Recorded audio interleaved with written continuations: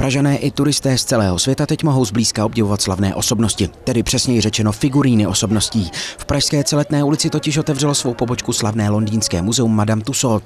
Návštěvníci se mohou těšit na čtyři desítky figurín a další budou postupně přibývat. Jsou tu uh, světové celebrity z minulého, minulého století, jako, jako je například uh, Einstein, Salvator Dali. Pak je tady sekce nebo oddělení, kde jsou sportovci jako Begem, Muhammad Ali, pak je tady mu- muzika e, současná. A nechybí ani světové hvězdy z filmové branže. Muzeum se ale zaměřuje také na českou historii. K vidění jsou významné osobnosti našich dějin. Čeští provozovatelé franšízy se s muzeem dohodli, že použijí kusy, které už byly vystaveny v Muzeu voskových figurín Praha. To dříve sídlilo na stejném místě. Jsme se dohodli na tom, že použijeme použijeme české figuríny, jako je Karel IV., české historické, Václava Havla, Muchu, Kavku, a pana prezidenta Masaryka a oni, že dodají celebrity světový, který, které jsou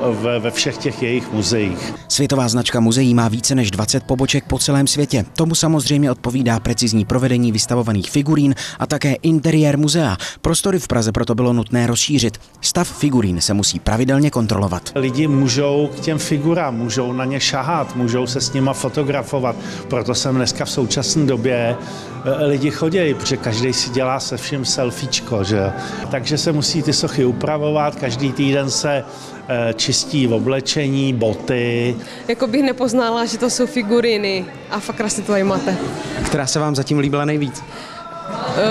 Um, rozvěli se. Tato postavička se mi líbí.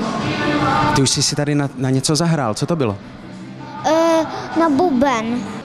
Je to skvělé muzeum a myslím, že ho můžu v klidu doporučit svým známým. Muzeum má otevřeno každý den od 10 ráno do 9 hodin večer. Pro rodiny s dětmi je navíc připraveno rodinné výhodné vstupné.